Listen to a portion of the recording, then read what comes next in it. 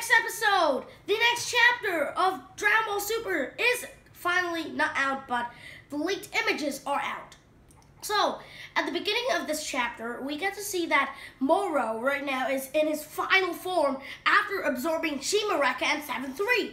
And Moro now is very powerful, as he seems to be like a lot stronger than Vegeta, a lot stronger than Goku, and even Majin Buu. Yeah. Moro now is insanely powerful. After that, we get to see Vegeta. I, mean, like, Piccolo says that, in the leaked images at least, says that, damn, those are the abilities of 7-3. Kind of like that. And then Moro says, yes, I've absorbed him completely. And then Goku's like, oh, he's just an ant that keeps crawling back. Yeah, uh, because that's strange from Goku, because an ant is like something uh, you easily defeat, like punch it, and that that's the end of the ant. And this ant is like crawling back all the time. So after that, we get to see the person that jumps out of the smoke is Vegeta.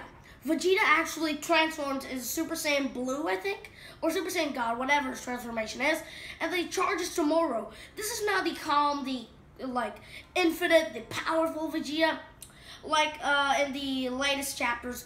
Now this Vegeta is like the old-fashioned Dragon Ball Z Vegeta, as he charges to Moro, and then he punches Moro, but Moro dodges so easily, and then he jumps into the sky, and then Vegeta's like damn, he punched straight into a mountain, and then Vegeta like jumped up and he kicked and punched Moro directly everywhere, and then Moro's like, you can't do anything to me. The Gohan says that the abilities of 7-3 are only 30 minutes, and then Moro says, I've eaten him completely. I haven't absorbed him, but I've eaten him.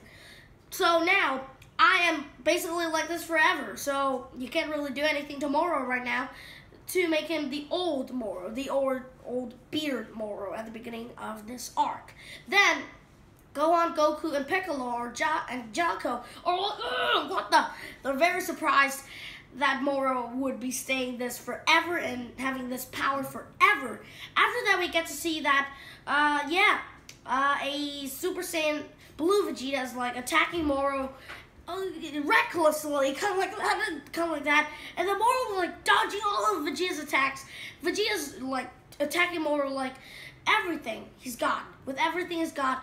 But then Moro like kicks Vegeta straight in the stomach, and he falls down, and he got hammer slapped so hard that we can see blood in his face, kind of like that. And he's holding his head in pain. The Moro is like in the standstill of the Big Bang attack. But before that, actually, when Vegeta was attacking Moro. Moro caught Vegeta's fist, and then Moro appeared behind Vegeta and grabbed Vegeta's neck, and he absorbed all the abilities of Super Saiyan Blue Vegeta, all of the abilities of him on Yardrat, all he's been learning.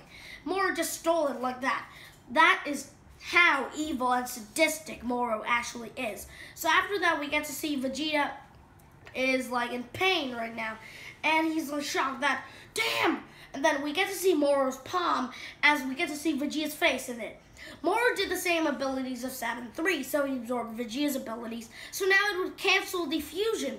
If Goku and Vegeta merged into Gogeta or Vegeto, it, uh, it would be much because um, a part of Vegeta is already gone. So psychologically that, yeah, Gogeta would not really stand much of a chance to Moro or even Vegeta with Super Saiyan Blue Kaioken, for example.